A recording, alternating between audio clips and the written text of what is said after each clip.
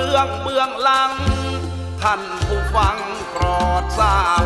และวาดภาพหิมพาน เป็นฉากนิทานคำกลอนหิมาลัยปัจจุบัน แต่ก่อนนั้นเป็นเขตหิมวันต่างประเทศ เป็นขอบเขตสิงคอนข้างพระสุเมรุมาตรชาติไกลลาด มหานาทีนามว่าสีทันดอนเป็นที่อาศัยรากสด และจะตุบททวิบาท ปักษาชาติมฤคมาศสีหราชกาสอนองค์พระศิวะ ประทับอาจยอดไกลลาดขุนเขา อีกทั้งเหล่าเทวนิตและเหล่าพิทยาธร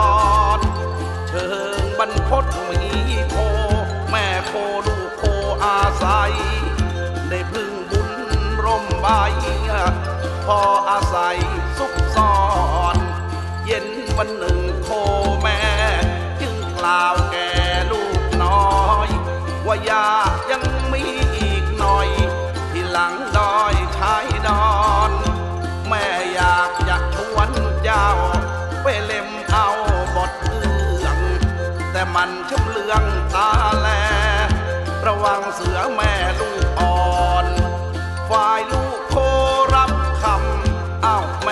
นำลูกน้อย วันนี้เราคงอร่อย แสงแดดก็ถอยแม่ร้อน แม่บอกลูกเสร็จเรื่องก็ยักเยือกหยอกยางสะบัดหางเดินหัน ยามเมื่อตะวันร้อนร้อน ถึงหลังดอยชายดงค่อยเดินตรงทางลาดดินชาติชวนชมาเล่มออกรถ จนลืมกำหนดจมูก ลูกห่างแม่ แม่ห่างลูกห่างดังถูกสังหรณ์ยังมีพยักตัวใหญ่ มันย่องมาหมายขย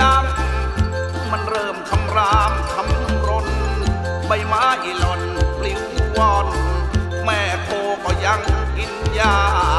เจ้าเสือก็อาำแม่โค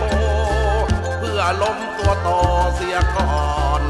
แม่โคจะตาย